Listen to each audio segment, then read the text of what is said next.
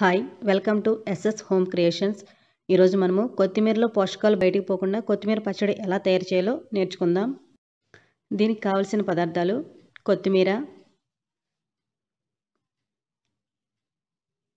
Oil చింతపండు అల్లం టమాటా పచ్చిమిర్చి ఉల్లిపాయ పసుపు ఉప్పు తొక్క తీసిన వెల్లుల్లి ఇంగువ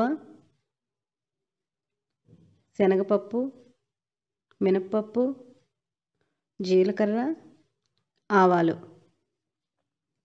ముందుగా స్టవ్ ఆన్ చేసుకొని బాండీ పెట్టుకుందాం.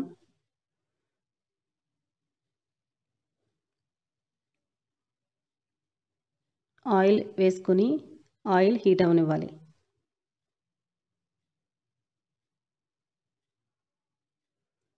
ఆయిల్ హీట్ అయింది. ఇప్పుడు శనగపప్పు మినప్పప్పు వేసి కొద్దిగా ఫ్రై చేసుకుందాం.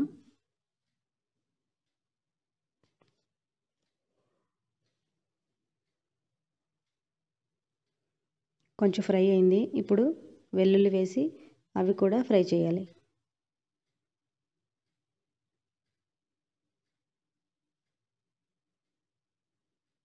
కొంచెం జీలకర్ర కూడా యాడ్ చేసుకొని అది కూడా ఫ్రై అవనిద్దాం.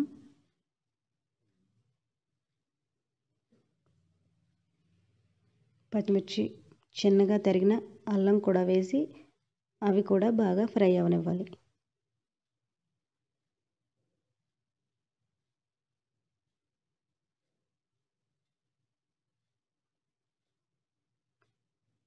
అన్నీ ఫ్రై అయ్యాయి.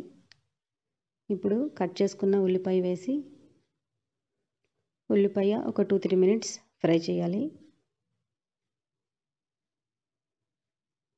కట్ చేసుకున్న టమాటా వేసి అది కూడా కొద్దిగా ఫ్రై చేయాలి.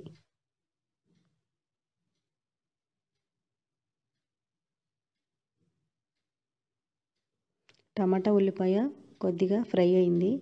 ఇప్పుడు మూత పెట్టి టమాటా మెత్తబడే వరకు వెయిట్ చేయాలి.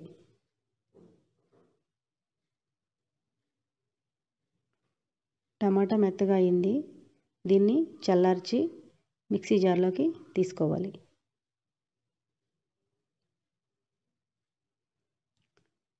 ఇప్పుడు ఇంగువ చింతపండు పసుపు ఉప్పు కూడా మిక్సీ జార్లో యాడ్ చేసుకుందాం.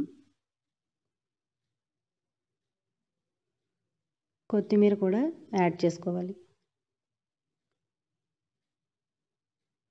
వాటర్ యాడ్ చేయకుండా కొంచెం పేస్ట్లా తయారు చేసుకుందాం.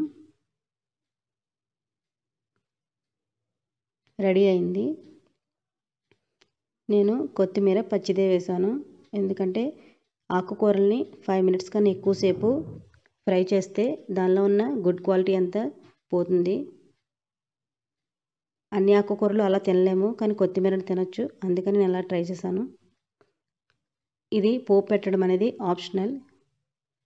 ఆవాలు కొద్దిగా పోపు పెట్టుకుందాం. అవి చెట్టుపట్టమన్నాక కొత్తిమీర పచ్చడిలో వేసుకోవాలి.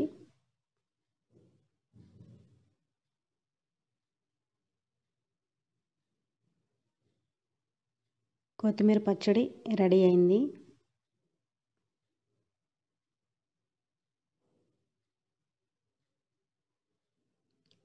సర్వింగ్ బౌల్లోకి తీసుకుందాం. ఈ వీడియో కనుక మీకు నచ్చినట్లయితే లైక్ చేయండి షేర్ చేయండి కామెంట్ చేయండి. ముందుగా మా ఛానల్ని సబ్స్క్రైబ్ చేసుకోండి. Thank you.